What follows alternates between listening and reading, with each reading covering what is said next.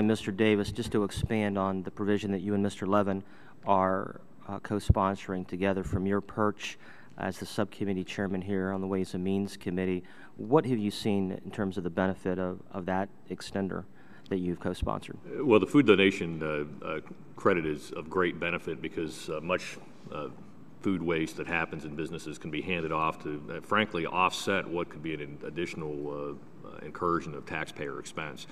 Uh, there's a, uh, a, ready pool of, of uh, willing providers, both in distribution networks and also from restaurants to get that food out to homeless shelters, a number of other vendors, soup kitchens, et cetera uh, that can make a real difference in people's lives, especially in that uh, urgency uh, of transition.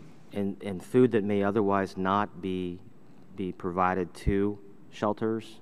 Uh, that's correct. It would, in all likelihood, just be scrapped. And uh, uh, oftentimes I've been asked the question, well, why wouldn't the companies just take it down there anyway? But within their own operating rules and ironically uh, uh other regulations that would impinge on that, uh, there's a cost of transportation.